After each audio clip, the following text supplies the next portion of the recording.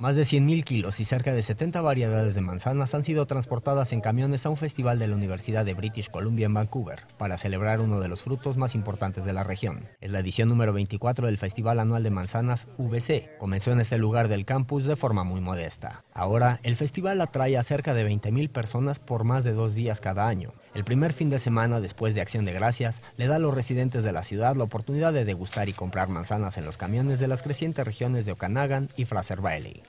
Lo que es realmente importante es que estos pequeños agricultores o pequeños horticultores son apoyados, así que esto es lo que estamos haciendo. Estamos celebrando a los productores de la Columbia Británica. El festival cuenta con variedades hereditarias como la Grimes Gold y la Bramley Seeding, pero también hay nuevos tipos de manzanas disponibles como la Ambrosia y la Salish, que fue presentada hace solo unos años.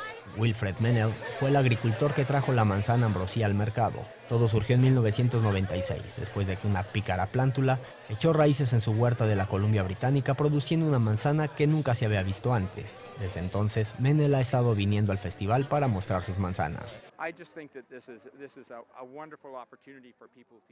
Creo que esta es una maravillosa oportunidad para que la gente pueda adquirir un gusto por las manzanas, porque hay una gran variedad. Hay como 60 diferentes variedades para ser probadas en la carpa de degustación todos los años, y cada temporada es diferente. Para mí es un lugar maravilloso.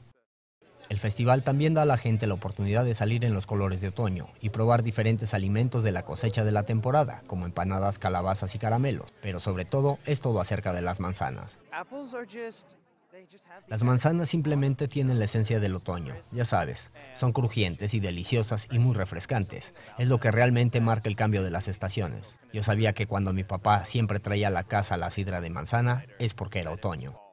La fiesta de la manzana de la VC concluye este domingo y todo lo recaudado va en fondo de la ayuda del Jardín Botánico de las universidades. Con información de la oficina en Vancouver, Canadá, Noticias Xinhua.